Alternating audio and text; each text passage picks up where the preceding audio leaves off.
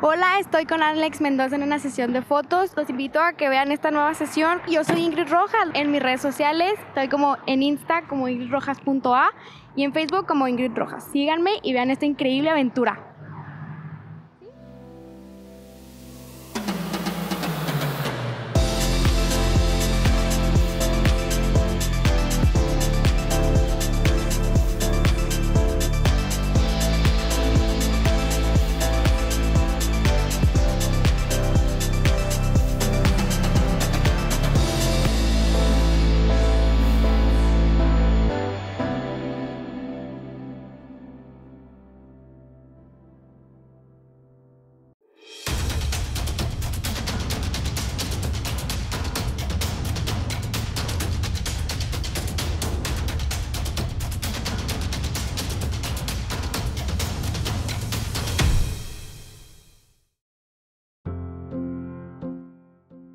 Hola amigos, bienvenidos a un nuevo video de mi canal de YouTube. El día de hoy, como ustedes ya vieron en la intro, voy a estar fotografiando a esta hermosa modelo, muy joven, pero con una gran experiencia en el mundo del modelaje. Ella es Ingrid Rojas. En la descripción del video, como siempre, les estaré dejando enlaces a sus redes sociales para que vayan y la sigan y por supuesto que me sigan a mí también y aprovechen además si aún no están suscritos para suscribirse a este canal.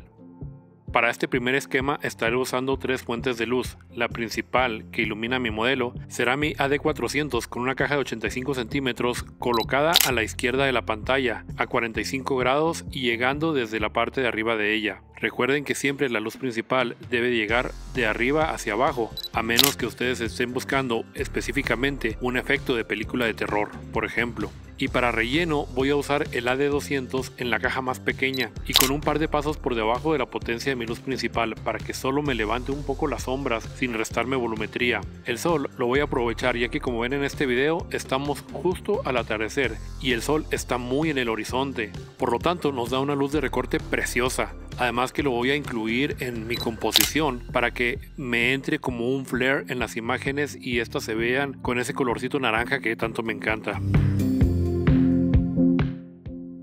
Como siempre en el transcurso del video les estaré compartiendo los esquemas de iluminación que vamos creando, así como los valores en cámara y en flash para que los tomen como base, pero deben de tomarlos con pincitas, ya que estos valores me funcionaron a mí en esta situación.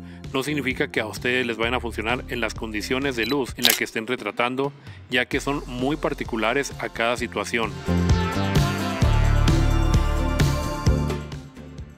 La cámara que voy a usar en esta ocasión es la 6D Mark II con el lente 2470 2.8 y este lente lo voy a usar muy abierto, por lo tanto voy a usar la sincronización de alta velocidad para estas imágenes, abriendo mi diafragma al máximo hasta los 2.8 y bajando la luz ambiente con el tiempo de obturación de la cámara. Aún así no serán valores extremos y el flash no estará tan exigido, ya que si recuerdan cuando se usa sincronización de alta velocidad el flash se exige mucho más que cuando se hacen fotografías a una sincronización normal. A manera de blog les comento cómo llegamos a hacer esta sesión. Primero que nada les cuento que la modelo y yo nos conocimos a través de Instagram. Yo vi su trabajo, ella vio el mío y nos pusimos en contacto para ver la manera de poder hacer unas fotografías. Le envié yo algunas imágenes que me gustaron y cuando estuvimos de acuerdo decidimos ponerle fecha. Por cuestiones de su trabajo no pudimos empezar la sesión más temprano y tuvimos que empezar ya un poco al atardecer, pero aún así creo que vamos a sacar muy buenas imágenes. Nuestra modelo es aún menor de edad y en casos como este es muy importante que siempre una menor venga acompañada ya sea de sus padres o de alguna persona mayor o algún tutor por seguridad tanto de ella como de ustedes como fotógrafos. Ustedes van viendo en el video que en muchas de las escenas aparecen los padres acompañando a nuestra modelo. Eso da muchísima tranquilidad y confianza tanto a ella como a ti fotógrafo para trabajar más seguro. ¿Tú qué haces cuando retratas a una modelo que es menor de edad? Déjamelo saber en los comentarios, me interesa leerte.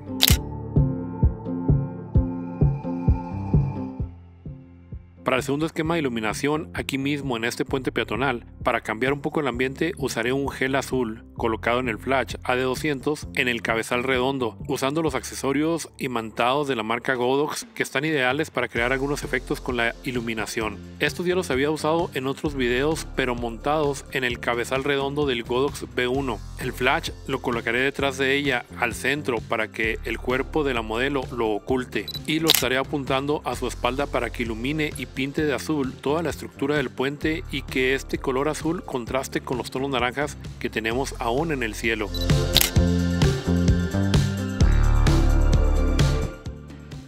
El estilo de esta sesión decidimos que tuviera un toque urbano, que no fueran las típicas fotografías de niña en el parque, sino que fuera un poco más editorial, un poco más de moda. Por eso quedamos de vernos en este lugar que no es el típico espacio para hacer fotos bonitas que todos los fotógrafos buscamos o que buscan las mamás de las quinceañeras. Mientras la modelo se cambia y se pone un vestido negro que vamos a usar en las siguientes fotografías, voy a hacer un breve recorrido por el lugar para imaginar las siguientes fotos y ver en qué locación las vamos a hacer. Este es un ejercicio que me gusta hacer en todas las sesiones. Mientras la modelo está ocupada, yo voy viendo los posibles siguientes escenarios e imaginando la iluminación que voy a usar en cada uno para que cuando ella esté lista no perder tiempo y realizar fotos de inmediato. Me gusta mucho cuando ocurre que llego a una sesión sin una idea preconcebida del lugar o de qué voy a hacer o de cómo lo voy a iluminar, sino que lo vamos resolviendo en el mismo sitio. Esto me gusta porque favorece mucho la creatividad, echa a volar la imaginación y no nos frustramos cuando las condiciones de luz no son las que habíamos pensado antes de llegar.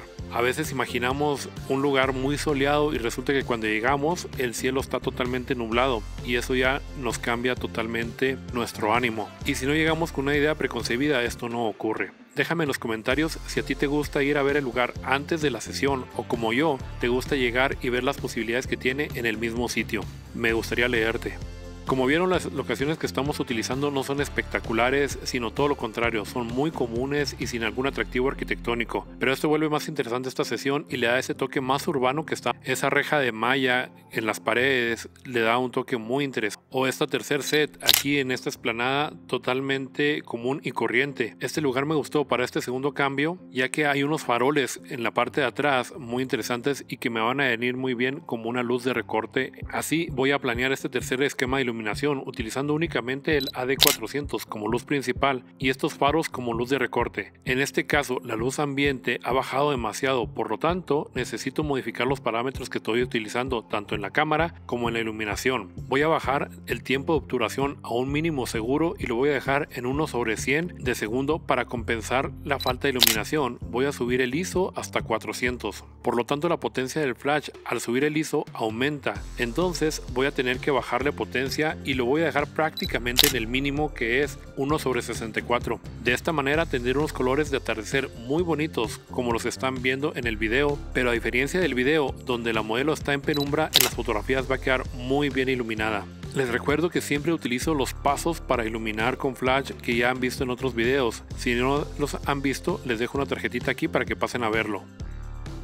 En la misma explanada haré el quinto esquema de iluminación y para separar un poco más a la modelo del fondo voy a utilizar el flash AD200 que no lo estaba utilizando hasta el momento y que esto le dé más tridimensionalidad a la imagen y separe el vestido negro sobre todo del fondo que tenemos tan oscuro.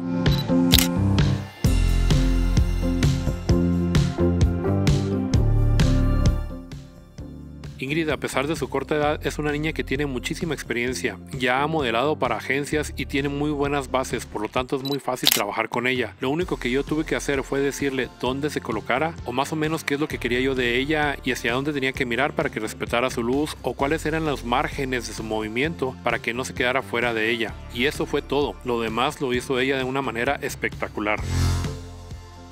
Para el tercer cambio de vestuario de la modelo nos vamos a mover de lugar y nos vamos a ir a una zona con un poco más de iluminación para ver si podemos seguir retratando de noche y sacar unas fotografías interesantes. Me gustó como primer punto un lugar donde hay unas escaleras y colocar a la modelo al final de ellas para que gracias a la composición de la imagen la vista siempre se nos vaya a la modelo ya estamos completamente de noche, por lo tanto ya necesitamos subir un poco más el ISO y bajar un poco más la potencia del flash. Si es que ya no pueden bajar la potencia del flash, lo que necesitamos hacer es retirarlo para aprovechar la ley del cuadrado inverso y que de esta manera, por distancia, baje la potencia del flash en nuestra iluminación. A propósito dejé para el final este cambio de ropa de la modelo que es más colorido, con ese rosa tan bonito para que esos colores hicieran contraste con el fondo oscuro que vamos a tener, ya que al comenzar tan tarde la sesión era seguro que íbamos a terminar haciendo fotografías de noche.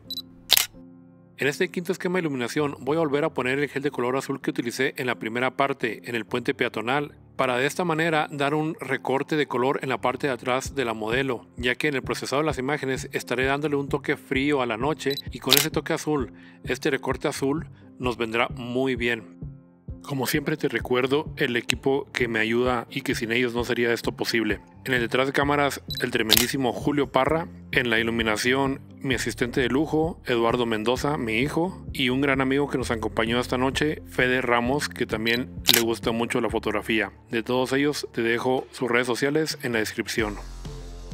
Cuando veníamos caminando hacia este lugar vi al final del parque un puente que me gustaría utilizar en estas fotografías. Nos vamos a trasladar hacia ese lugar para aprovechar ya la última parte de esta sesión y con esto terminar.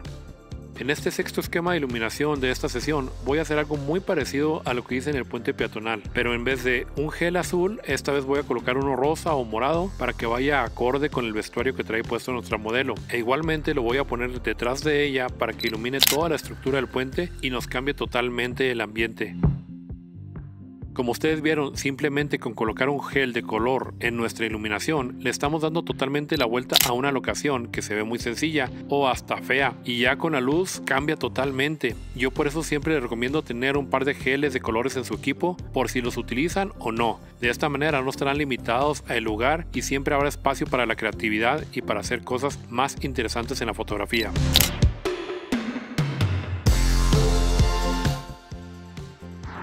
Pues ya terminamos la sesión, estoy muy contenta, me encantó el trabajo de Ale.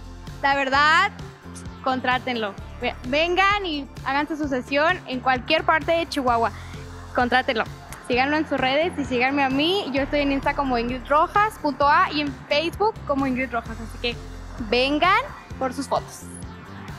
Y síganme a mí. Hasta aquí nuestro video del día de hoy, espero que les haya gustado, si es así les pido por favor que me dejen un enorme like o que me comenten qué les pareció. Si pueden, déjenme en los comentarios qué otro tipo de videos les gustaría ver más adelante. También les recuerdo que pueden pasar a suscribirse si aún no lo han hecho y marcar la campanita para que les llegue siempre una notificación cada vez que yo suba un nuevo video y de esta manera siempre estén enterados de las últimas noticias del canal. También como siempre quiero recordarles que para hacer mejores fotografías una vez que ya tenemos la teoría siempre tenemos que ponerla en práctica. Por lo tanto hay que practicar, practicar y practicar. Así es de que por favor terminen de ver este video, levanten el trasero de esa silla y tomen su cámara y sálganse a hacer fotos. Nos estamos viendo en el siguiente video. Hasta la próxima. Bye. Soy Alex Mendoza y soy Profoto.